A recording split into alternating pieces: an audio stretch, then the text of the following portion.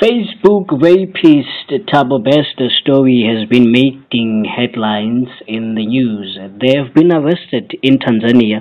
The South African law authorities and enforcement are sent to fetch them.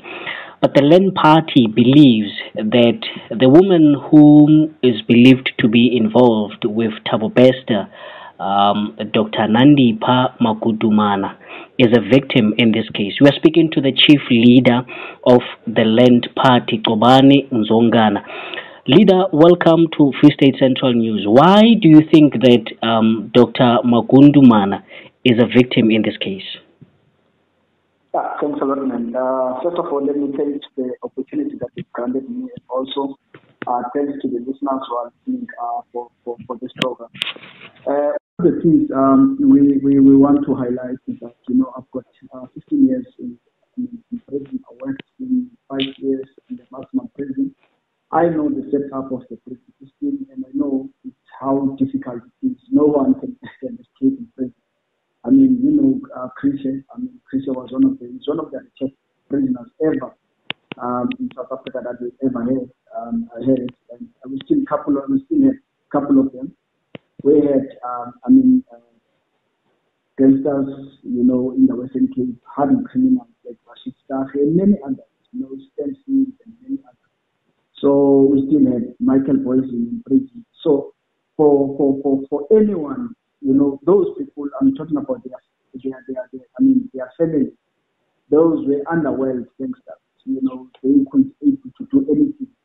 But I can assure you, they could not even organize a single attempt to escape because of how the prison situation is. So to, to suggest that the, the, the, the Dr. Nandipha, you know, organized, you know, and planned for, for, for that escape, it's a fallacy. You know, it's just an, a scapegoat. Uh, they have been using her as a scapegoat, you know, uh, shifting the blame to hide the real people who are behind the escape of, of, of Bester. You know, this escape has been reported in 2022. Sure. If I'm not mistaken. I mean, uh, the Department of Correctional Services knew about this escape, you know, uh, and they've tried by all means to, to hide this, this, uh, you know, um, so all of a sudden, when this this things, I mean, uh, coming up, and, and people start to see their stuff in this way, then uh, people started to make up stories that I mean this woman assisted this this guy to, to escape and all that stuff. Look, one thing that you must understand, you are talking about a lady here, a woman. In South Africa is a country where women are victims of crime, particularly violent crime. You know, uh, if men could not be able to handle these criminals in prison and keep them safe in prison, who was this woman was going to be able to, to, to come forward and say this this guy here is in my house and all that.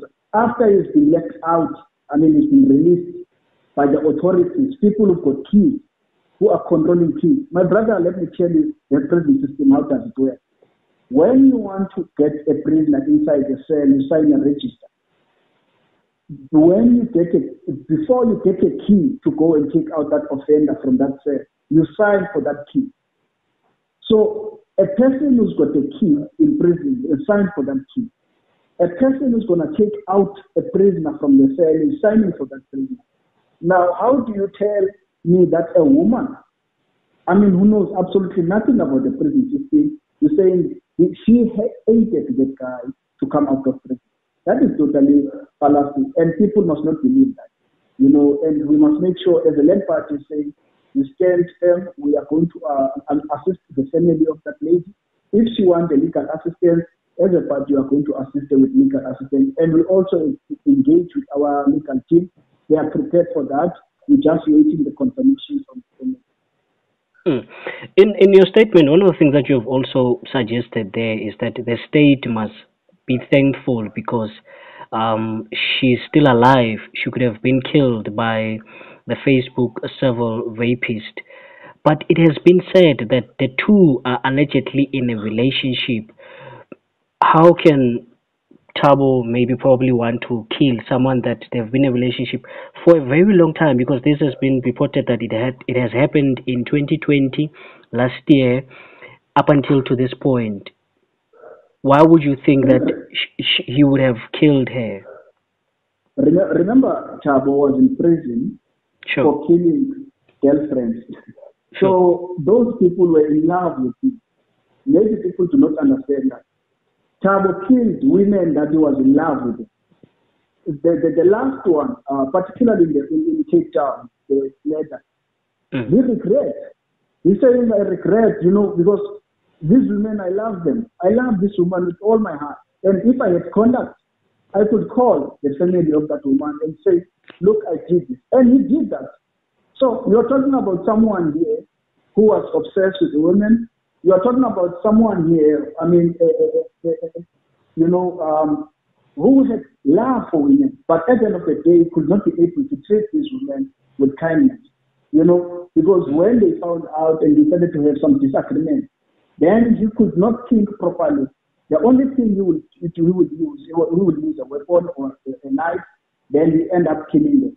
You know, because according to him, he would say, I mean, I was trying to scare this victim. Then incidentally, I ended up killing these people. So we're talking about this kind of a person and killed, if I'm not mistaken, three women. So that tells you clear. If Bester managed to escape, I mean, from uh, from Ro- from Tanzania and reach a safe destination where everyone will know, definitely she was going to kill that woman because he, will know he was going to kill that woman because he, he will know that there was also one person who knows wh- why I'm in this country. So to kill the evidence, it was going to be easy for him to kill that woman, bury that woman, after that live a normal life in a, in a country as a fugitive. So that was going to be possible. Sure. You are clearly presenting um, Dr. Magudumana as a victim in this case, but the GroundUp media, whom broke this story and reported that Thabo is not in fact the prisoner that has died in Mangaung um, Correctional Service Center, they have indicated and reported that Dr. Magudumana collected the body from the state mortuary days after the escape, claiming that she's the wife or the customary law wife of Thabo Bester. Let, let, let, me tell you this, my brother. Uh, any normal South African must go to a to a funeral parlor and go and make a claim that I'm claiming to get to receive this body. Sure. I mean, the story itself does not make sense.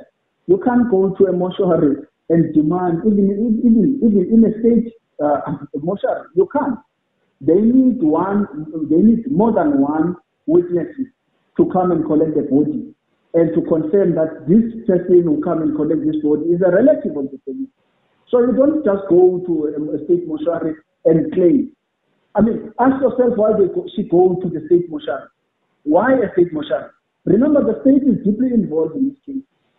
Now, using the state mortuary is a, a very, I mean, sophisticated strategy to run away from the crime that uh, and the negligence that has been caused by the state, so that they they are easy to. It will be easy for the state to manipulate its officials, because remember they are paying these officials. They are in the payroll of the state.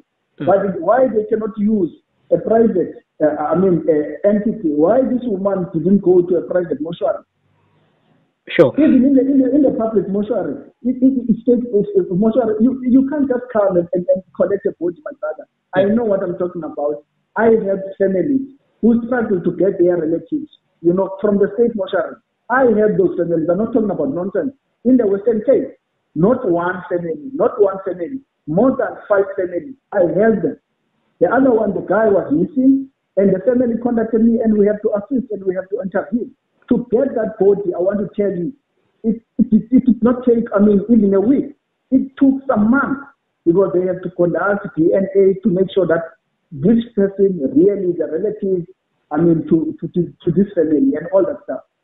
So Sure. that is the situation. It's not easy to come to the state, I mean, um, mortuary and get the body. And no, that, that's not. But I can tell you, this is a cooked information, my brother, trying to nail this woman so that this woman can be looked like she was a criminal, you know, and, and, and she was the one who was responsible out of all these things. Sure. You are also suggesting that um, she's a victim even in this case. Today, her father and a former um, G4S employee appeared in the Mangaung High Court. Um, they are charged with five charges. One of the charges is murder. The same media house that broke the story, GroundUp, has reported that she submitted an affidavit from her father as a proof of Lobola negotiation, which present her as the wife of Thabo Bester. Your reaction to the fact that now the father has been charged of the same person that you're saying it's a victim? No, no, no. Let, let, let me tell you this. Uh, when you manipulate a woman, for instance, and, and, and you put her in a trap, mm. we, we, we must not deny the fact that there was a relationship Thabo and Dr. Nandi. Sure. That one we, we, we, we, we are not denying as a party. What is denying is that she aided and escaped for the gentleman to run away from prison. that is that is totally nonsense. It does not exist. Now, when they are doing that, I mean, prisoners are allowed to have, uh, uh, I mean, affairs. Prisoners are getting married in prison and all that stuff. So for her to have a, a, relationship with, with, with a prisoner, it is not a crime. It is there. In fact, it is protected. And in fact, the, the, the, the, the white paper in corrections, you know, encourage women, I mean, prisoners to offenders to have relationship with communities, to have relationship with their loved ones, to have relationship, I mean, with their family. It does encourage that so that they can be easily replicated. Now, you have his father being charged. I mean, let the court take its own law, and that does not necessarily mean that she aided the woman. Can be, he can, he can be, I mean, the father can be charged. The, the father will tell the court what happened regarding to that, but I can tell you, absolutely, it does not exist that the woman aided the, the, the, gentleman. We are not denying the, the fact that she was in a relationship with the offender. Absolutely, we are not denying it. And it is not a crime. South Africans must understand it is not a crime. They had they were, they were, they are also being encouraged offenders to also to be in a relationship. In fact, offenders do get married inside the prison. Mm. Okay. Last question. You have admitted that these two people they were in a romantic um, relationship. Do you think that it is in the interest of justice for now for the state to release her after they have been arrested in Tanzania, coming back to South Africa? it is in the interest of justice to release her because I could probably assume that she now knows more than what some of us cannot know about Bester. To, to be a state witness, you do not have to be kept behind bars. Remember, when you're talking about criminals, criminals commit crimes and they will still move around because there is a bail condition.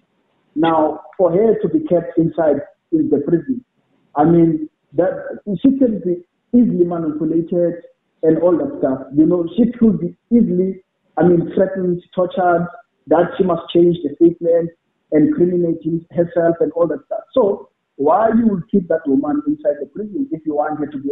I mean, state witness is outside. You can be able to protect your witness while she's outside. Keep the lady outside and let her assist the state to uncover the real what happened to Thabo Bester. And I can tell you, my brother, you'll, you, you, you'll find more that that woman, she's not the person who aided the gentleman to move out of prison. In fact, they are highly, I mean, I mean, politicians who are involved, who've got some of them who've got shares with, with, with the company, just G4S, with the company that is, I mean, is, is, is, is, currently running the prison. You'll be very shocked that this thing was, was organized by highly profiled people so that this gentleman can come out of prison. Mm. You know, definitely they might know her, some of these politicians, they might know her and took advantage of her. An interesting point that you are raising there, I know that I said that is the last question, but probably this will be the last question because you have just um, indicated that possibly there might be politicians who have shares in the G4S company who could be probably involved in this whole saga of Bester. Are you able at least to share with Central News who are those politicians? Look, uh, my brother, if you remember, there was once upon a time when I was still working in, in, in correctional I know that Sure. the, I think you know a lady called uh, She was also one of the members of parliament, or an MP of the ANC. Um, I mean, there are a couple of them. There, are, I think one of the guys was Mukwena. I think he's a, a relative, but he's very close associate in the ANC. But one thing I can tell you, I know for a fact there was once upon a time when Spoon once uh, wanted to say, uh, including on the part that look, uh, before, in fact, it was Ngconde Balfour started saying, this, I mean, this prison must be taken out to, to, to I mean, to, from the private entity to government. And, and, and, there was a problem with that, and he ended up being removed. Then there was uh, this guy, I mean, um, Level, in 2013, if I'm not mistaken, also saying this prison must be removed. And what happened, you were taken out as a minister of, of correctional services. He was made an ambassador um, in, in, if I can remember, it's New Zealand, Australia, around those countries, but he was made in uh, Then after that, when they realized that Smundele could testify that, you know, there is a shenanigan that is happening in that, in that, in that prison, uh, he, he was later charged with criminal charges so that they can, can, can make, a, can make him keep quiet and not coming forward with the information that was in. Hmm. Okay. He's the chief leader of the Land Party, the registered South African political party, which in most cases advocates for policies that are inspired by policy decisions used in the economic development of the People's Republic of China. Ndate Kobani Nzongana, thank you so much for your time and thank you so much for speaking to us. Eh? My pleasure, my brother. Thanks a lot. Thanks a lot, my brother. All right.